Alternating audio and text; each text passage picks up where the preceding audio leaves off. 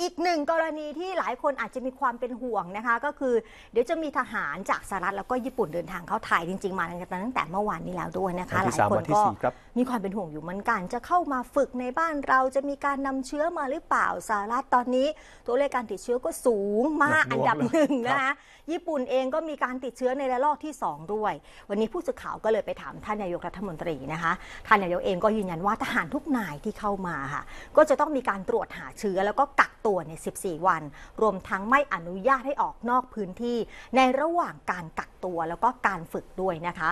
โดยพลเอกประยุจันโอชา นายกรัฐมนตรีนะคะ ก็กล่าวภายหลังการประชุมคณะรัฐมนตรี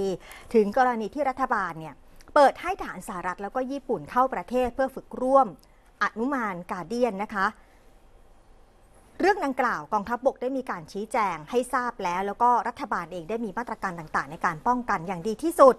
ก็ให้เป็นไปตามมาตรฐาน แล้วก็มาตรการของกระทรวงสาธารณสุข ทั้งการกักตัว 14 วัน แล้วก็การตรวจโควิด -19 ถึง 3 ครั้ง โดยไม่ให้บุคคลเหล่านี้ออกนอกพื้นที่ที่มีการกักตัว ก็ขอให้ทุกคนเชื่อมั่นในมาตรการสาธารณสุข เพื่อให้ทุกอย่างนั้นเดินหน้าต่อไปได้ค่ะการกระบวนการกักตัว 14 วัน สวอปเทสสามครั้ง ถ้าพบติดเชื้อเข้าโรงพยาบาลทันที อันนี้เป็น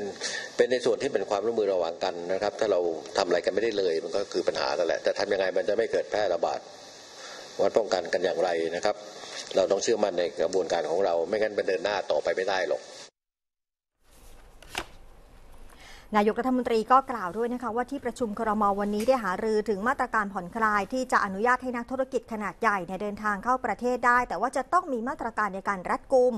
ซึ่งก็จะนำเรื่องดังกล่าวเข้าที่ประชุมสบคแล้วก็จะมีความชัดเจนในสัปดาห์หน้าด้วยค่ะ